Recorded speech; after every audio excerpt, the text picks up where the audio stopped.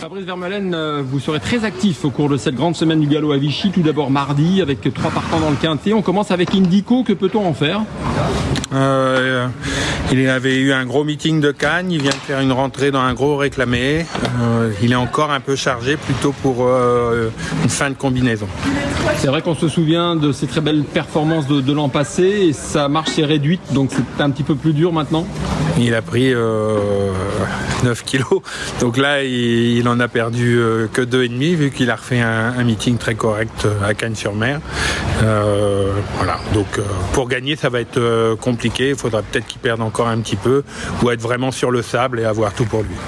On, passe maintenant. Ivory Spring euh, est, un cheval euh, susceptible de, de, bien faire dans, dans cette catégorie d'après vous? Oui, il revient à une valeur intéressante. Euh, il est en plein sur la montante, euh, je compte sur lui.